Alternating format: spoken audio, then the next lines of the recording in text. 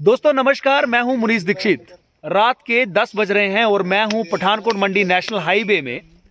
घूमते घूमते पपरोला के अगर तारागढ़ की तरह मैं जा रहा था तो कुछ लोग एक ट्रक को खड़ा करके बिल्कुल साथ में, यहाँ का टेम्परेचर इस वक्त दो या तीन डिग्री होगा, सर्द हवा चल रही है।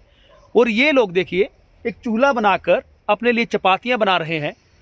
जब पता किया तो पता लगा कि ये वो लोग हैं, जो यहाँ के पशुपालकों के लिए किसी वरदान से कम नहीं हमें तो अपने घरों में दूध चाहिए सुबह चाहे वो पशुपालक जो है वो दूध बारिश में दे सर्दी में दे हमें तो दूध से मतलब है।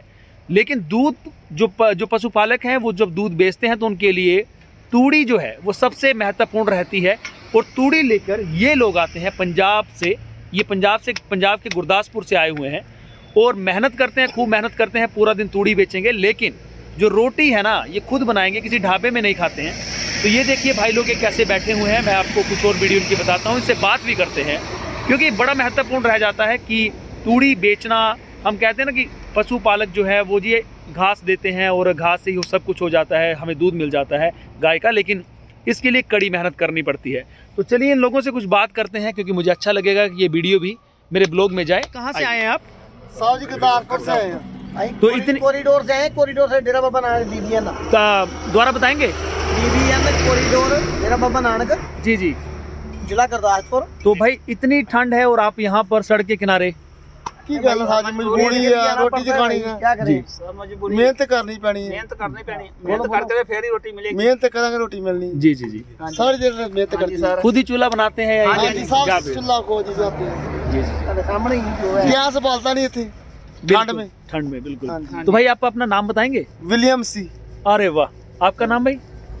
विजय लखविंदर सिंह।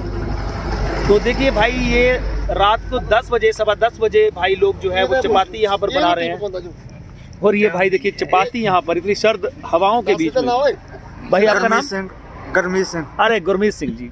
तो देखिए एक एक चपाती का जो ना मोल है जिसको हम कहते हैं कि मेहनत की रोटी सबसे अच्छी होती है तो ये मेहनत की रोटी है जिसे ये लोग बना रहे हैं। और यहाँ पर देखिए घना अंधेरा है अभी।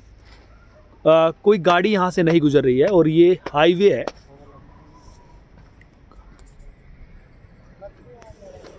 Pathankot Mandi national highway. और ये लोग हैं ये जो मैं विजुअल आपको बता रहा हूँ ना ये देखिए सामने किस तरह से ये लोग अपने लिए रोटी की व्यवस्था कर रहे हैं।